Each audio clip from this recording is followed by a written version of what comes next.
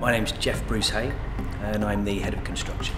We teach the new rotation students the basics of making, utilising all the machinery to enable them to become the build team that actually builds the scenery for the productions we have here. Essentially, we, be, we build three shows for three theatres in five days. We start from the very basics. As first years, you're the build team. Working alongside you are the second years, who are specialised a little more. Third years, they will be the project managers to begin with in the academic year.